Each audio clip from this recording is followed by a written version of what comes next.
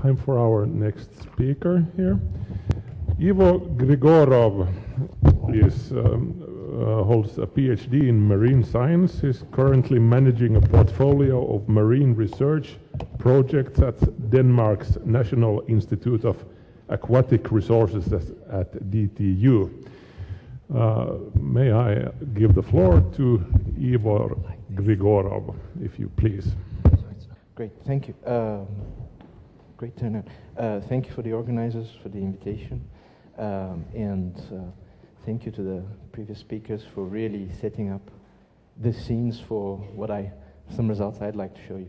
Um, I'm going to refrain from commenting on uh, what the problem is and our research is it. Um, and I'm just going to um, try and throw an incentive at you or them uh, for um, open science. Um, so um, the day job, if you like, from 9 to 5 is I work for a, a, an institute that is 70% externally funded. Um, some of it public, some of it private, but it's 70% externally competitive uh, uh, uh, funding. So that environment kind of um, um, creates special challenges and, and kind of uh, uh, warps what are incentives and, and, and what are uh, sticks and carrots.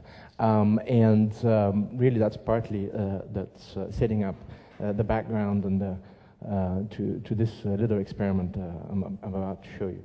Um, and I'm the youngest member uh, in a team of four. And what we do is we, we will take researchers and we'll help them formulate their great ideas in a competitive way so they can bring the grant home, right? And that's kind of a, for the research, our researchers, that's kind of a, a daily rut. It's a daily headache. So um, initially we thought, well, um, this concept of openness, if we can present it as a tool that solves, uh, solves a headache, will that, will that uh, help them uh, uh embed it into their workflow and make it part of the way science should be done? Um, so uh, let's just uh, go through a quick introduction, which probably not necessary, previous speakers uh, very well set the scene here.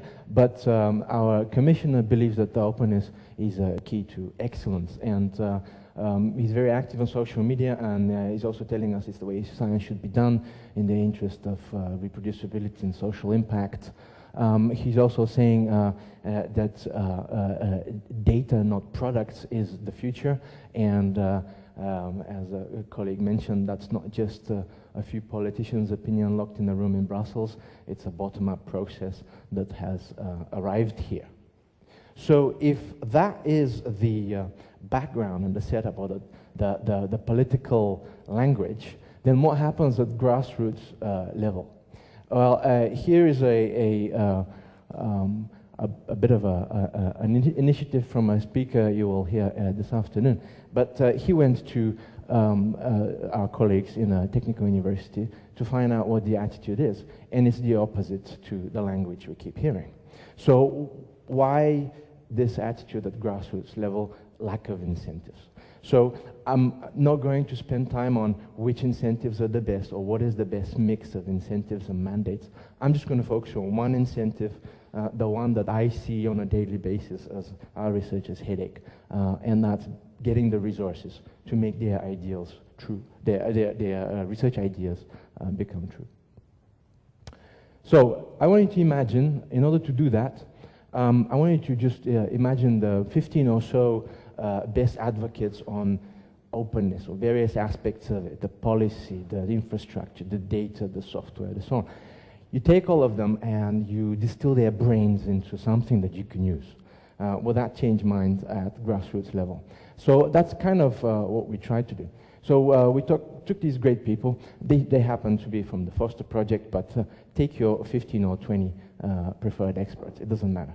And uh, th this is just um, to give them some credibility. Uh, they're not just random 15 people. they, they achieved a fair amount of impact over two years, helping implement the EC Open uh, science uh, agenda, and uh, you know they, they covered a, a, fair amount of the EU membership. they reached out to over 5,000 face-to-face uh, individuals, training them in various aspects of open science. Um, and also, um, uh, I think this is quite important, um, we managed to reach uh, a diversity inside the academic ecosystem. So we didn't just train the researcher because they are doing it wrong or they're doing enough. We actually also trained the people that support the researcher. We went to the librarians, we went to the national contact points uh, in Horizon 2020. Um, uh, we, we, went to the uh, people that actually uh, take care of the research uh, life cycle other than the researcher. So we, we imagine we take all of these experiences and know-how and do's and don'ts. And what we try to do is we distill them into 15 pages, something that a busy uh, grassroots researcher that's not doing everything right, uh, allegedly, um, uh, can actually digest quickly and hopefully find something that they can implement uh, to make their next grant proposal more competitive. Um, and we named it this, just to catch their attention.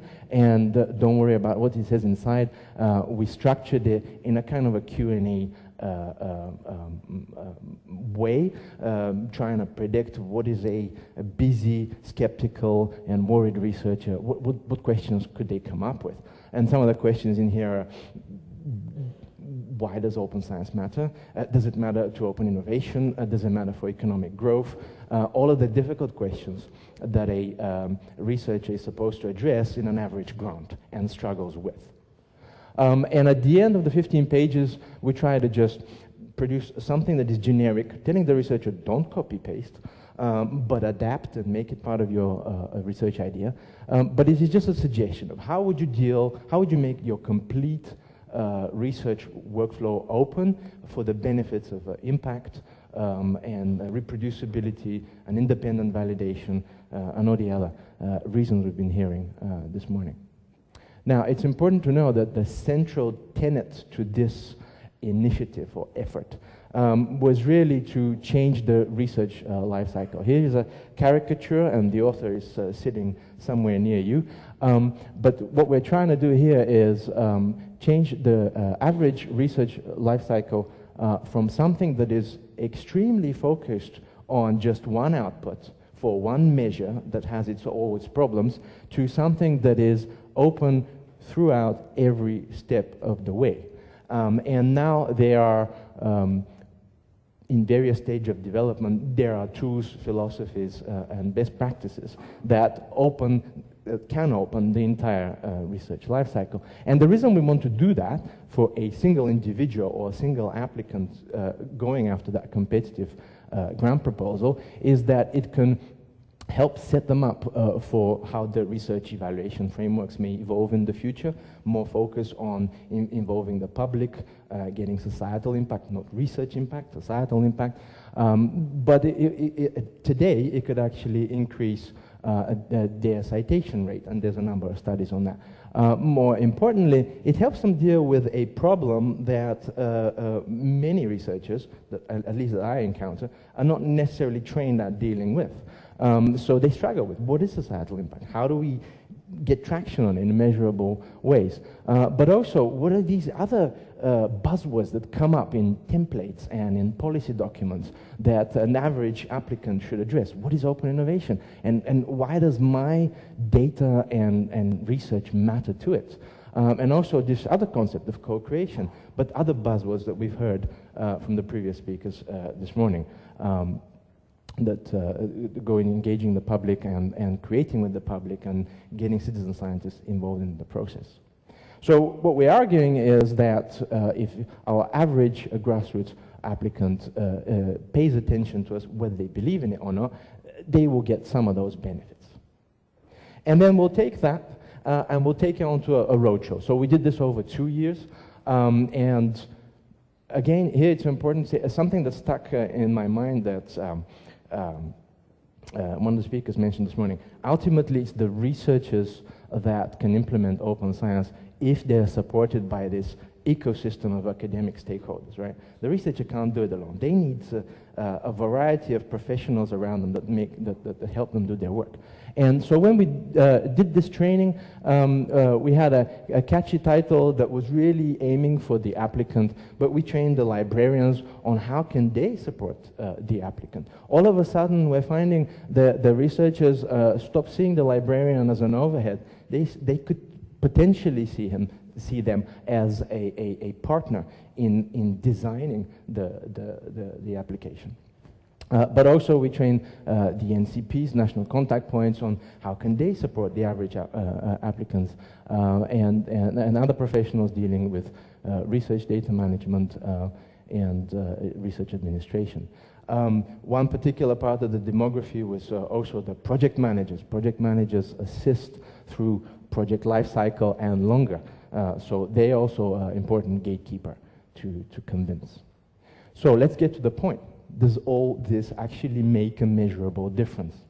Now, at this point, um, I want um, uh, might want to mention that um, the average um, evaluator uh, uh, at, uh, uh, the, in the Horizon and FP7 program um, are instructed uh, that with respect to the open access, open data pilot, which is now a mandate, um, you are not supposed to penalize projects that don't do it.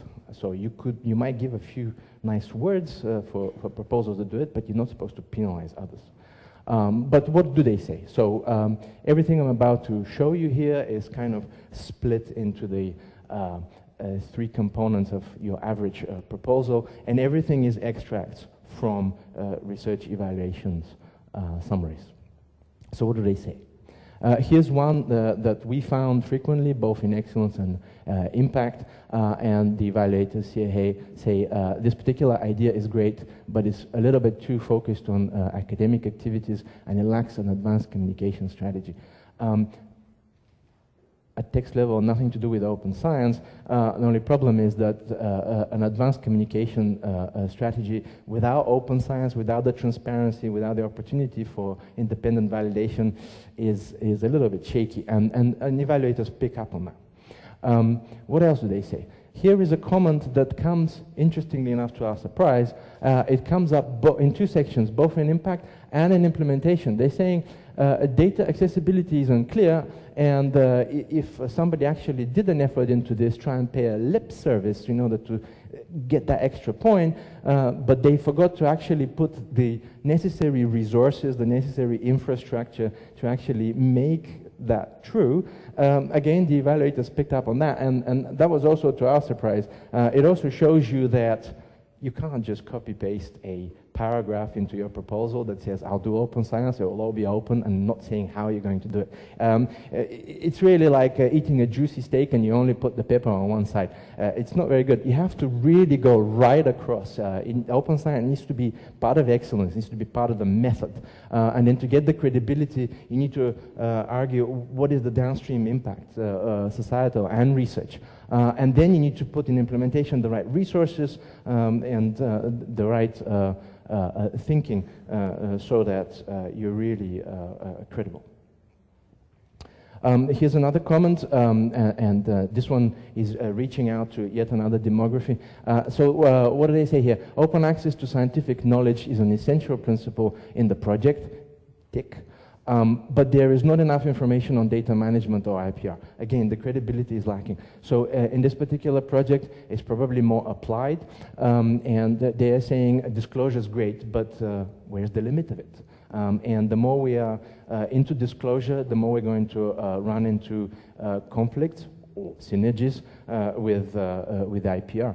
Um, and this has, again, opened an opportunity for us to work with um, the IPR professionals, uh, the people responsible for patents uh, in the more applied disciplines, uh, and really work with them to uh, fine tune where the, the, the, conflicts, if any, and are they as big as they sound, um, and where are the synergies.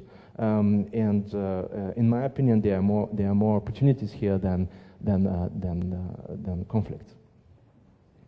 Um, I just want to focus now on, on impact because impact is frequently where uh, applicants struggle most. They, they, they don't like great ideas. They can write something excellent, uh, but framing the impact in a way that, uh, uh that fits the language even just this morning uh, is not always obvious to the average uh, excellent researcher.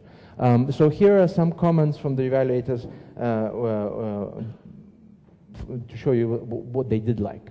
Now, this is a good one because extensive dissemination of data to the scientific community is something we're supposed to be doing as researchers, right? But done well is actually appreciated. This is a positive comment. Um, outreach activities to a broader audience. Again, this is relevant because uh, open science in this particular uh, proposal wasn't just a, paragraph to pay lip service, uh, it was done with a purpose to uh, uh, inform and engage in the process. So this was attached to citizen science, uh, um, which we also saw this morning was one important issue. Uh, research software is freely available, not something that we do frequently or we don't do it well um, or we don't apply the right licenses. Uh, we don't empower the reuse of, of, research software and this particular project did it well and convincing with the right infrastructure and resources and that picked up a positive point.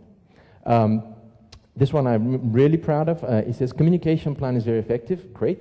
Training for communication and open access procedures, I especially welcome. This uh, is a particular relevance to Marie Curie training networks. Um, and uh, uh, again, uh, here, uh, this was part of the training package, um, and uh, um, it, it, produced a, a, positive outcome.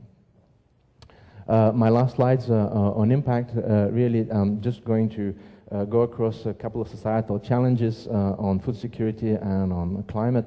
Um, here are some examples where uh, the evaluators are saying new knowledge delivered to SMEs by depositing research outputs in uh, the relevant uh, infrastructure uh, already developed. Um, the keyword here being outputs, they don't just care about the papers, they want the entire package of knowledge available to the SME community for reuse.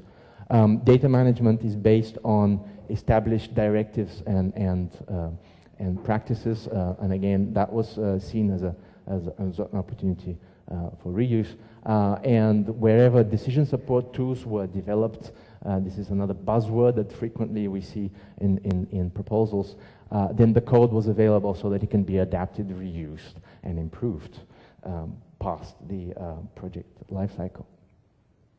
So um, that, that's really uh, uh, the essence. Um, the organizers asked for, asked for a uh, message uh, wall poll. Um, my question to this is, uh, um, in an environment uh, where um, researchers are being blamed and the research evaluation frameworks will evolve towards something else other than just number of papers and how many times they got cited. Um, my question is this, should graduate schools really teach open science alongside research excellence if open science really is the way we should be doing business. Um, but uh, personally for me, the real question is, can we afford not to? So, thank you.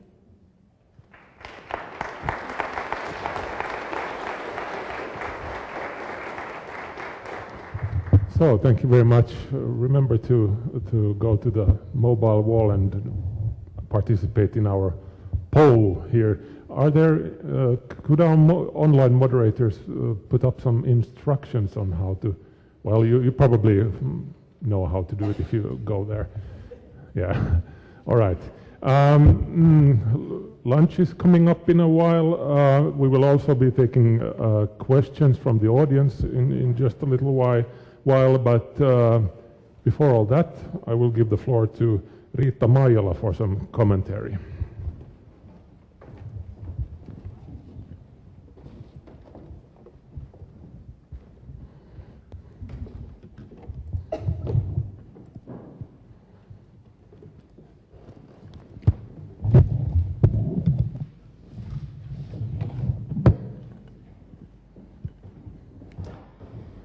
So uh, thank you very much for invitation to give this commentary and, and, thank you very much for inspiring talks and presentations today. I, I especially enjoyed about the openness of discussion in open world. And uh, we heard just Jutta Haider and Ivo Grigorov talking about the quality of science and how that's impacted in, in two aspects. And uh, what do we mean by quality of science? How do we produce it? And I think there are three major issues we need to have. It's really down to the competence of researcher, how they do their work. On the other hand, it's the competence of peer reviewers that actually they find out if the work was done properly, but they are the researchers at the end. And then, as was mentioned already before, it's a shared activity, how whole scientific community can ensure quality of science. And this is something which I think we heard today already, and I'm sure we hear more in the afternoon, is about big question in future because the quality of science is something which actually influences the trust of science in societies. If you lose trust of science, uh, we lose a lot in many ways, both in science and society at large. And therefore, I think that it's very, very important we, we really consider what we are doing and why and how. On the other hand, we are living the era of open science. The technology is here, it's here today. We can share data, methods, publications, workbooks, even the research ideas. It's all possible today. The question is how we do it. How we do it in a clever way, which enhances all the things we are looking for.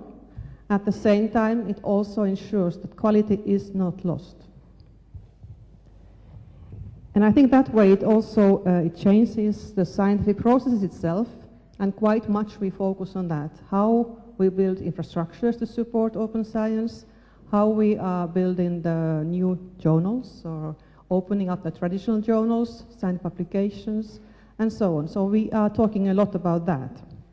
But much less is spoken about the societal change, and I really like Jutta's approach about how this changes the business model. That's a quite new approach. Uh, it's a strong statement, I would say, but that's something we should actually stop and think about.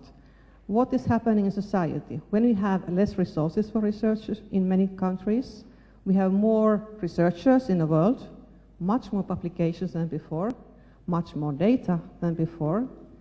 How all this is going to be funded, how the competition among the scientists, but also between the nations will actually influence how open science will turn out in next 10 years.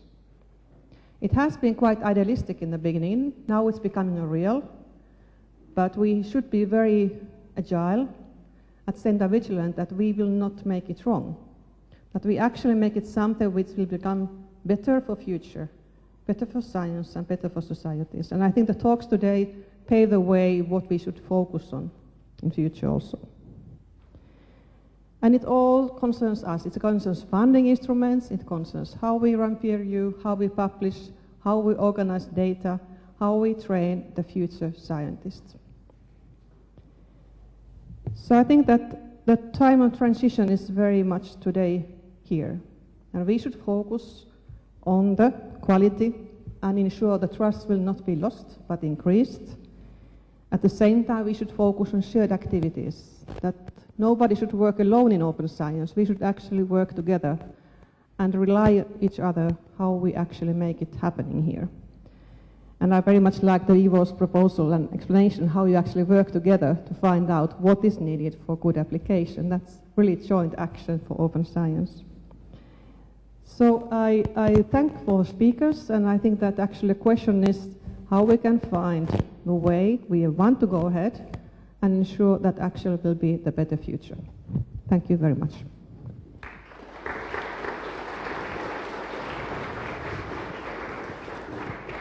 Thank you very much, Riitta Maijala, Vice President for Research in the Academy of Finland. So let's see what's going on up on our message wall. Our poll is, is in a quite, well, it's not very exciting, maybe. It's, it's very unanimous, no, not a lot of dissent here, but maybe that wasn't to be expected. Should graduate schools teach open science alongside research excel excellence? 95.5%, the cake is almost entirely green.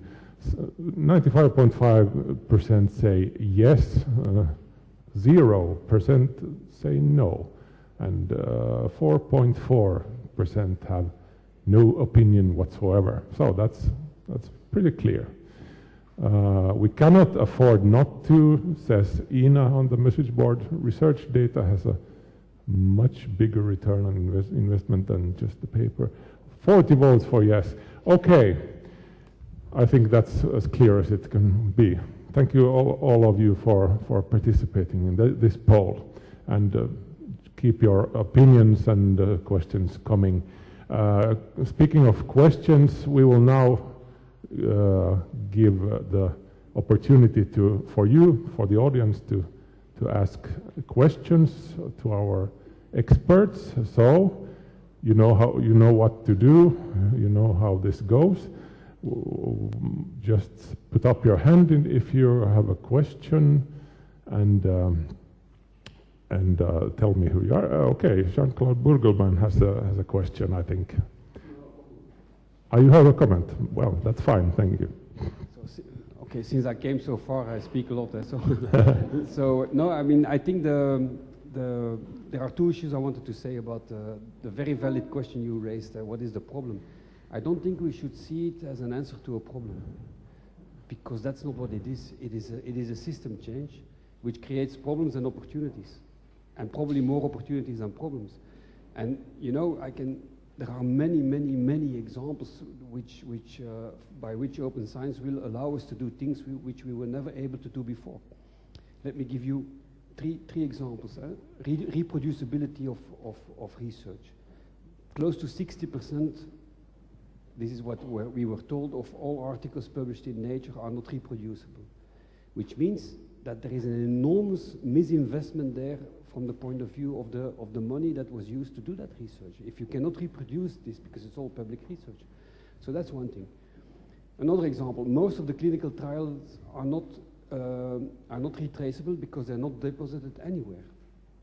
Another example, if you want to, to, to do a European research project on how uh, pollution, traffic pollution in cities uh, creates asthma, or, or, or is there a relationship with asthma, you need to combine health data, transport data across Europe. Impossible without open data, impossible without a trusted environment where you can do that. And then, you know, if you go to social science, which is my first degree, by the way. Uh, so, so, so it, it is an enormous opportunity for social scientists, to open science, because by, by having open data, by having data points on every movement, if you want, you can do things you were never able to do before as a social scientist, because you can actually track and do research in real time on social uh, uh, uh issues which was simply impossible before because you had to do it with a questionnaire or, or backwards and so on. Idem dito for literature, uh, idem dito for, um, for even art history if you want. So there are enormous opportunities there. But, but don't forget, and these are things that, that, that are happening not as a, as a reaction to something, but as a, as a response of the modus operandi, because what is happening in open science is the same as what's happening in our economy. Do we need Amazon.com? No. Is it, is it easier to buy books? Yes. I mean, we, we lived without Amazon.com for several uh, decades, no? So, so, but it is there. So it is the same kind of logic that is happening there. And I think our, our task is to make the best out of it. There you got a, a very important point. And, and I think, so that's one thing. So in, but there still is something very important also in what you said that it might help us to have a much more equitable science system. Uh, there is a lot of discussion in the science system now, too much peer pressure, too much uh, rat race and so on. If we could have a much, if we could have a system whereby your research is more is also evaluated outside the, the one article that you publish in your life in Nature or in the top journals, but that you have a much richer, and the altmetrics thing, that you have a much richer um, uh, landscape of, of what you are doing because as, as, the, as the person from Foster was uh, just saying, because at every stage of the research cycle you will have measurement and indicators and so on you, you will probably decrease the pressure on, on, on the rat race of publications. So there are also, there I think we can solve a problem which, which, uh, which we probably didn't, didn't talk about. So in one word, it's not, it's not an answer to a problem, it is a system change, it's disruptive, winners and losers, and, and it, has, it has, of course, uh, it, it, creates opportunities and, and it creates uh, uh, most, most likely, it no, not most likely, trust, it creates a big problem, as was mentioned uh, uh, before. So that, I think, is the right way to see it, because otherwise we, we, we, we, we, we might get the debate in, in, um, in, in, in the wrong direction. Thank you for the comment, Jean-Claude Burgelman. All right, anyone else? Sorry? Yes, please. Well, that was, of course, a valid comment. Um, and I, I, the question that you also should be asking about Amazon is not just do we need it and does it make, does it, do we need it and does it make our lives as buyers easier? It's also what does it feel like to work for Amazon? I hope that's also a question you would like to address. And that also uh, for open science. But um, about the about the about the question that I posed, of course, that's uh, that's a tool from social science. It's called policy analysis. If uh, the, the, the the idea is that if you propose policies, they're underlying some sort of problem representations. You can formulate that at, at, as you want to achieve a change, and if you want to achieve a change, there's something you want to change. And of course, there are many other things in these sort of policies that you want to change that the European Commission and other bodies have formulated. I just decided to focus on that because it's, I think, it sticks out and it's also something that is very dangerous in sort of undermining trust in an institution that we absolutely, absolutely rely on, especially now.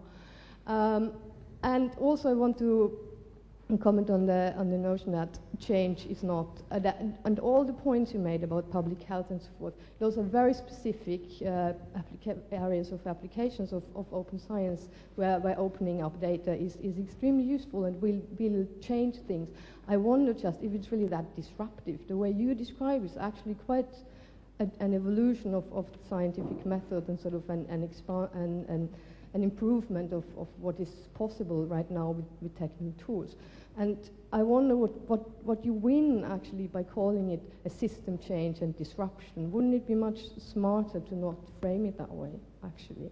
So because it does seem that if you want to disrupt something, there's something that's seriously wrong in order for you to be go in and disrupt it. So you call it a problem, you call it a system change, you call it what you want, but that's the impression you create in the documents and the policies that the European Commission produces. Thank you.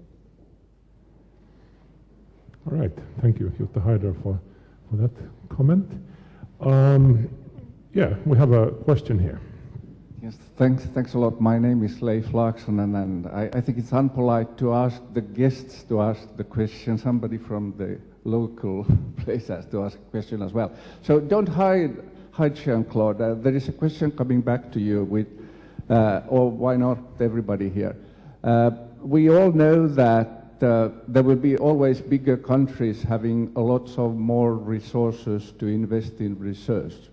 The, the question is, is the open science in a way enabling smaller countries opportunities which are different from the time before when we were more in the, I don't know, the analogical uh, environment? Because uh, uh, what I see is that the, the big countries are still investing heavily in the infrastructure, and what I see in smaller countries is that it's declining.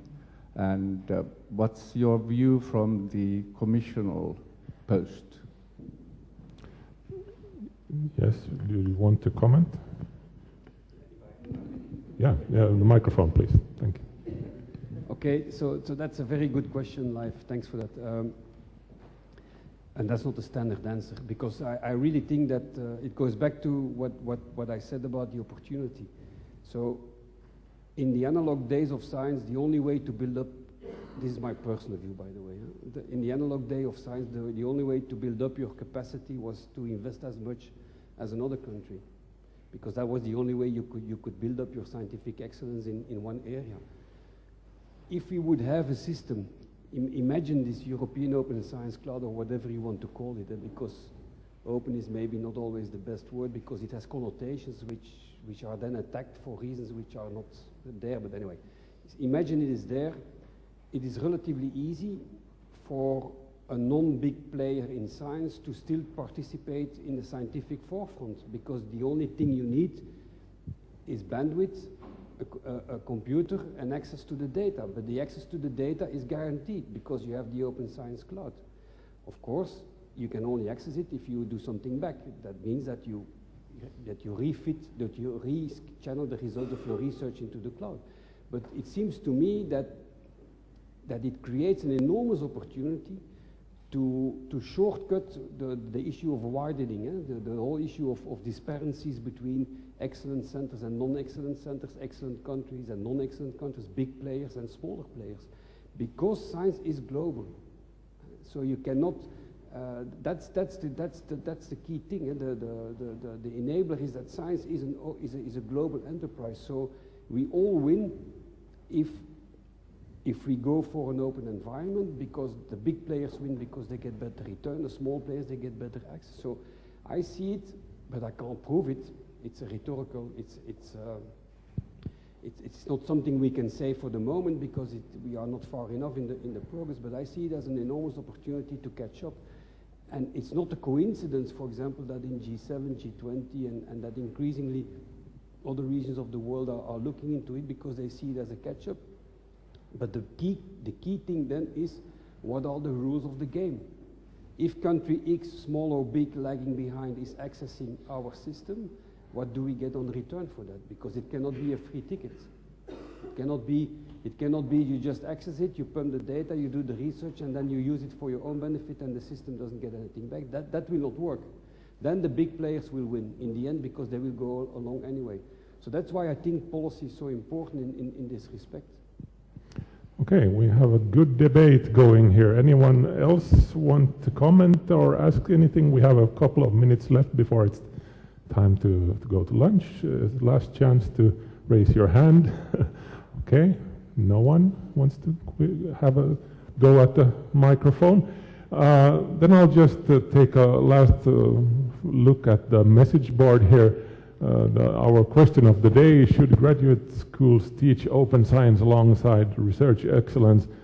94%, 94% said yes, 2% said we have dissent here now.